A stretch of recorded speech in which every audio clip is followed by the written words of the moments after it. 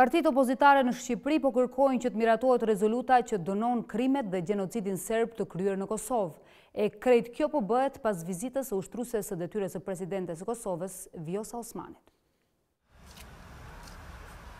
Gjatë vizitës tre ditore në Tiranë, ushtruesja e detyrës së presidentes Vjosa Osmani ka kërkuar nga Shqipëria të miratojë një rezolutë që dënon krimet dhe gjenocidin serb të kryer në Kosovë. Edhe pse nuk ka ende një hap konkret, deputetët opozitarë në Kuvendin shqiptar kërkojnë që sa më shpejt të finalizohet një rezolutë e tillë. Jemi në bisedim me disa deputetë të Kuvendit që kanë shprehur gatishmërinë, por duam që ta bëjmë këtë në mënyrë sa më profesionale dhe me një mbështetje sa më të madhe të mundshme dhe besoj që në javët në vazhdim, ndoshta nga janari e tutje, ne t'i futemi punës për ta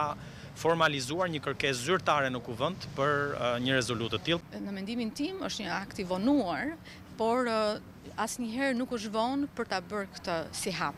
Ndaj mbështesim totalisht edhe uroj dhe shpresoj që do gjejmë mbështetje në të gjithë deputetët e Kuvendit të Shqipërisë, sepse ne me Kosovën ecim me një hap. Megjithatë, rreth një muaj më parë, Kuvendi i Shqipërisë vendosi për ngritjen e komisionit të posaçëm, për administrimin e dokumentacionit dhe hartimin e një raporti përmbledhës dhe informues për gjetjet dhe konkluzionet që kanë nxjerrë verifikimet e kryera nga institucionet përkatëse në Shqipëri për çështjet e raportit të Dick Martit. Anëtar i këtij komisioni, që është edhe deputet i Partisë Socialiste, Adnor Shameti, theksoi se fillimisht para Kuvendit do të dalë një projekt rezolutë të cilën do ta përgatisë komisioni i posaçëm. Po të shikoni dhe draft axhendën e miratuar në mbledhjen e fundit të këtij komisioni të posaçëm, do të shikoni që objekt i veprimtarisë është mbledhja e dokumentacionit, analizimi i dokumentacionit, analiza e të gjithë projektit e procesit legjislativ për miratimin e ligjit të posaçëm shqiptar për marrëdhëniet juridiksionale me EULEX-in i vitit dy mijë e dymbëdhjetë dhe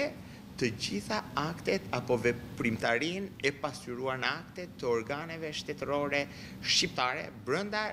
territorit të Republikës së Shqipërisë. Gjatë konferencës pas takimit me Vjosa Osmanin, kryetari i PD-së Lulzim Basha, ka premtuar që Kuvendi i ri i cili do të dalë pas zgjedhjeve të njëzet e pesë prillit, do të miratojë një rezolutë të tillë që e dënon gjenocidin serb në Kosovë.